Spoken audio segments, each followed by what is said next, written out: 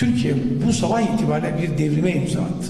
Trafik cezalarının artırılmasını da içeren yeni düzenlemeyi bu sözlerle niteledi İçişleri Bakanı Süleyman Soylu. Artık kusur yayanın olmayacak dedi. Artık Türkiye'deki yaya trafik yaya öncelikli bir trafik olarak kanun çerçevesi içerisine alınmıştır.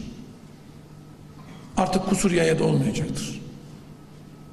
Aniden yaya geçidini atladı.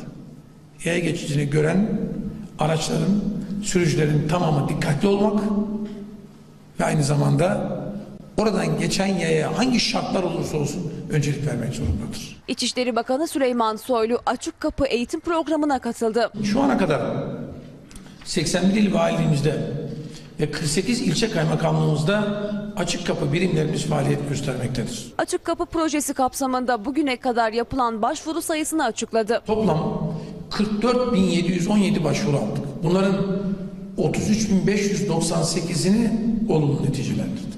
1354 tanesinin işlemleri ise bugün itibariyle devam etmektedir. Soylu vali ve kaymakamlara mesaj gönderdi. devletinden şikayet eden bir vatandaş bizim muhatabımızdır.